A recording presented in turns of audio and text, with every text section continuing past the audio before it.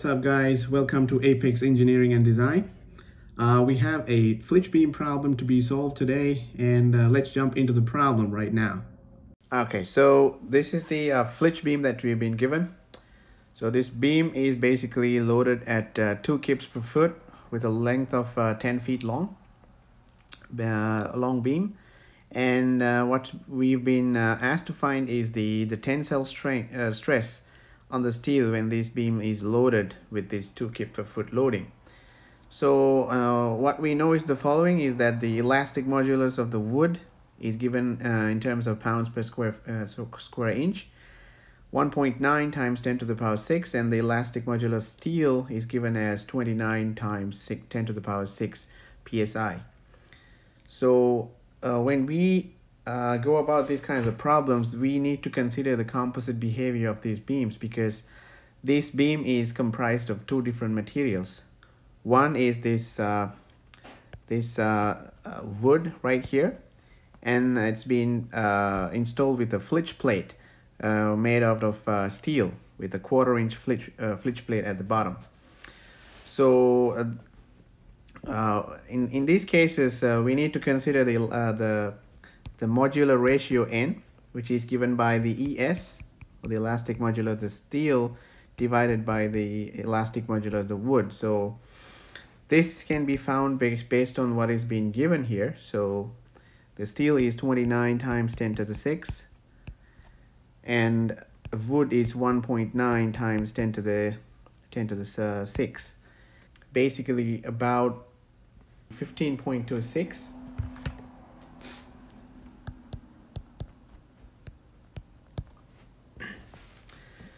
we need to transform the steel here when we do the composite behave, uh, beam behavior. So we need to transform the the um, the material properties to the wood basically. So when you do that, the wood remains the same with the same height or the same depth, 12 inches deep, 6 inches wide. And the steel plate is going to be transformed based on the modular ratio. So the thickness of the steel plate is going to be same, quarter inch. But the length of the the the the width of the uh, the steel uh, plate is going to be increased because of this modular ratio effect. So it's going to be six times 15.26, right? So that's gonna be coming out to be one uh, 91.8 inches. So when you ask to when you ask to find the tensile stress on the on the steel, it's basically deals with this equation, which is the stress is equals to the moment times the central distance to the extreme fiber divided by the moment of inertia of the composite section. So in order to come come uh, come up with this uh, y here we need to find out where the uh, centroid of the the composite section is. So in this case we will be using the the centroidal uh, distance equation or you can uh, you can get it based on the first moment of area of this composite section. So we will say this uh, is yc is being the the uh, the centroidal distance from the bottommost layer let's say this is our uh, datum. And let's say it's somewhere here this is our centroid centroidal distance of the composite section. So this is yc so let's uh, take the first moment of area of this composite section. So this is going to give us the area times the centroidal distance. Will give you that so if you consider the, the steel area here, so the steel area will be quarter inch times 91.8. That's the area of the steel times the central distance will be half of this thickness, right? So it's going to be 1 eighth of an inch. Plus, we have this wood beam above. So the area of that wood beam would be 6 times 12 times the centroidal distance will be uh, from the datum, that's going to be uh, quarter inch plus half of the depth of the beam. So that's going to be 6 inches. That's going to be divided by the total area of the composite section. So that's going to be 6 times, or you can start with the steel here. So quarter inch times 91.8 plus 6 times 12. So it's going to give you the central distance from the datum of the composite section. Uh, this is going to give you uh, 4.77 inches. So when you think of the, the composite behavior, so whatever the section that is below this neutral axis here, this is gonna go undergo tension because it's bending downwards. The above portion above the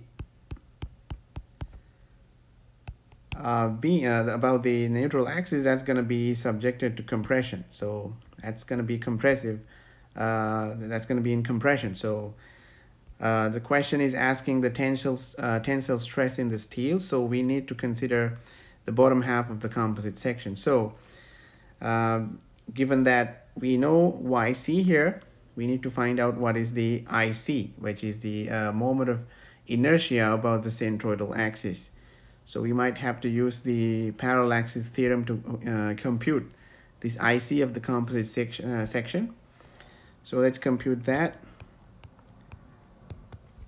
So we have IC. So we again we are considering two different sections, one for the steel plate, the other one for the um, the wood beam. So typical uh, moment of inertia for a rectangular section is going to be 112 b times d cubed. So we will be employing the same equation. So b will be for the the uh, the steel that's going to be 91.8 depth will be quarter inch to the power 3 plus you need to bring the uh, the axis to the uh, centroidal axis which is at, at YC so the D will be so you're using the parallel axis theorem here. So the area of that section that we are considering is 1 quarter times 91.8 times the depth or the, the, the distance between the axes will be uh, YC, which is 4.77 minus half of this thickness of the steel. It's going to be 1 8 to the power 2. And that's going to be uh, the, uh, the moment of inertia contributed by the steel. And let's go to this, uh, the moment of inertia contributed by this, this wood beam. That's going to be 112. B is going to be 6 inches. D will be 12, right, to the power 3, plus area will be 6 times 12 and the the distance between the the axes is basically um, we know that from from the uh, from the datum here. So that's going to be one quarter plus centroid of the, the the section is going to be for the for the beam is going to be at six six inches high and then minus the YC so YC is basically 4.77 to the power 2. Okay, so that's gonna, this whole computation will give you the, the moment of inertia of the composite section about the centroid. So this is IC about the centroid. That's gonna give you a number of 15.17 inches to the power 4.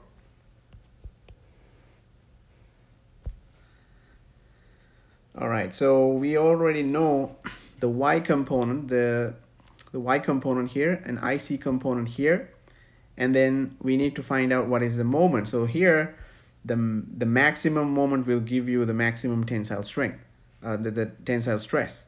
So we need to find out a maximum moment produced by this applied load on top of this beam. Well, the maximum moment produced here will be called as WL squared over 8. So over here we know that the the weight or the load is 2 kips per feet. So 2 kips per feet times the length is basically 10 feet. So there's going to be squared up divided by 8. A value of a moment of 25 kip feet. That's the maximum moment. So if you want to find out the tensile stress, we know that the tensile the, the tension is happening at the bottom of the beam. The very extreme fiber will con, uh, will be subjected to the maximum tensile uh, stress. So we need to find out what is this length, which is already we have the YC. Okay, so the tensile stress can be found uh, at the at the bottom or steel. Basically, M max YC over IC. Max, we know that 25 kip feet. So I'm going to turn this into inches. So I'm going to multiply by 12 to make it into inches. And then YC, we already found out that it's 4.77 inches. And the composite uh, section, the moment of inertia about the centroid is going to be 15, 17 inches to the power 4.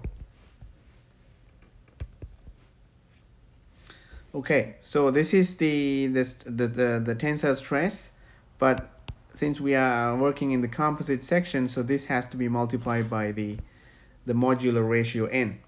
So modular ratio n is, we've already calculated it. Uh, it's 15.26 15.26 that's going to give us a value of 14.39 KSI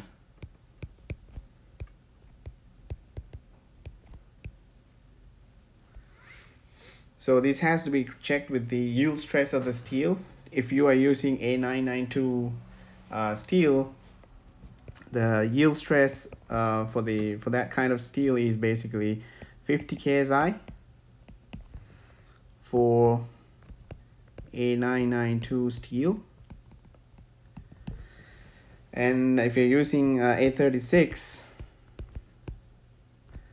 uh, FY is basically 36 KSI so regardless of what type of uh, the steel that you're using you are still less than the yield stress of the steel. And if you want to find out the, the stresses in the wood, so the wood, the maximum moment times y, uh, uh, this is going to be not yc, this is going to be to the, the extreme fiber of the, uh, of the, of the, the wood here. So basically in this interface. So yc minus whatever this thickness of this steel. So yc minus quarter divided by IC. IC doesn't change here. So maximum moment is, we found out that it's 25 times 12 kip inch times YC, we know that 4.77 minus quarter inch divided by uh, IC is 15, 17 inches to the power 4 is inches too so that's going to give us 0.894 KSI or you can say this is 894 PSI so this is the stress in the wood. So that's it